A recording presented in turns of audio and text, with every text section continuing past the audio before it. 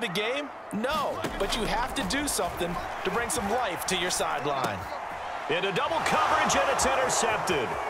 Steeler legend Troy Polamalu with a pick. And he is going to